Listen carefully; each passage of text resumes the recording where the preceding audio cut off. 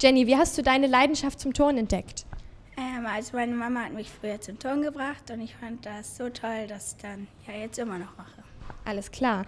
Äh, deine Mutter und auch deine Großmutter waren früher Turnerinnen. Ähm, hast du auch für sie mit dem Turnen angefangen?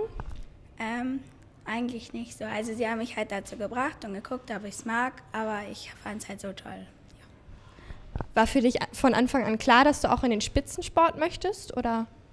Ähm, ja, also mein Trainer hat entdeckt, dass ich so ein Talent habe und dann hat er mich halt immer weiter gefördert und dann fand ich es halt so toll, dass ich dann halt auch immer weiter höher wollte. Du hast ja schon einiges erreicht. Was sind äh, deine Ziele für die Zukunft? Ähm, ja, also bei den Deutschen nächstes Jahr turne ich auch mit Elisabeth Seitz und so zusammen und da dann halt erstmal gut abzuschneiden. Ja, und dann weiter gucken. Und wie oft trainierst du so die Woche? Ähm, ja, manchmal trainiere ich auch morgens. Ähm, das ist mittwochs und donnerstags.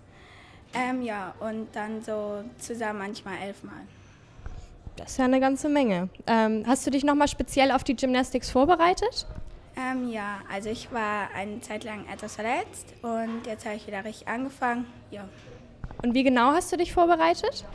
Ähm, ja, habe halt viele Übungen immer geturnt, immer alles versucht sicher zu stehen und bist du besonders aufgeregt, jetzt bei den Gymnastics mitzuturnen vor Hamburger Publikum? Ja, weil das sind ja eigentlich immer recht viele. Und ja, das, ich kenne ja auch manche davon und dann ist es echt spannend auch immer. Was, was, bedeuten die Gymnastics für dich? Was bedeutet das für dich? Ähm, ja, da kamen ja auch Teams aus den anderen Ländern mal zu gucken, wo unser, also wo Hamburg mal so steht und so und, ja, und wo man auch selber gegen zu den anderen steht.